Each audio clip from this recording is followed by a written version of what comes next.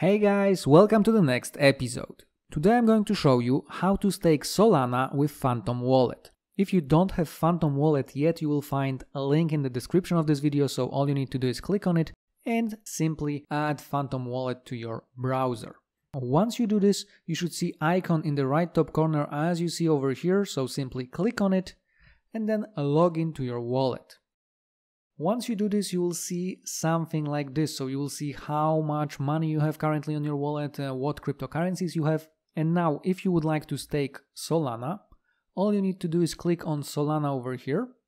And then you will see this button that says Start Earning Sol. So click on it and over here you will see different validators. On the right side you see the fee that this validator is uh, charging from your staking rewards. So as you can see on average it's like 7 or 8%. Of course you can scroll down to see more validators. So choose whichever validator you like. Let's say I'm just going to choose Chorus 1 so I click on it. And then over here we need to type in what amount of Solana we would like to stake. Have in mind that you should leave some small amount of Solana on your wallet so you can pay transaction fees for depositing and withdrawing.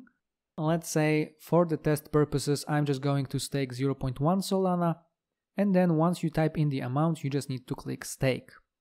Once you do this, staking of Solana will begin. As soon as this transaction is confirmed, you will be already staking Solana. And as you can see, after a few seconds, Malsol is already staked, so we can close it. And now when we go back to our main wallet dashboard, uh, we will see that uh, our Solana amount is less by 0.1 because 0.1 was sent to staking. So now if we click over here, in this place where it used to say start staking, we will see that our stake is 0.1 sol. So currently we are staking this amount of sol. So if we click here, we will see that we are uh, staking at uh, Chorus 1. It's at the moment it's activated, it may take some time.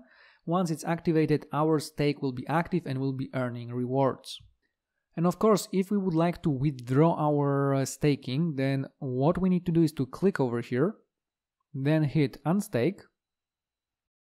And once our transaction is confirmed, we will see that uh, our staking is inactive and now we can withdraw our crypto by clicking on our validator and then clicking on the three dots in the right top corner and choosing withdraw stake. And as soon as we do this, uh, the transaction of withdrawing our staked SOL begins.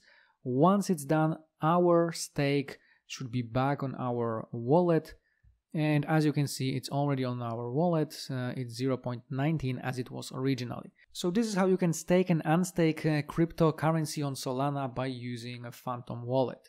That's it for today. Please remember to hit thumbs up subscribe our channel and share this video with your friends. Thanks for watching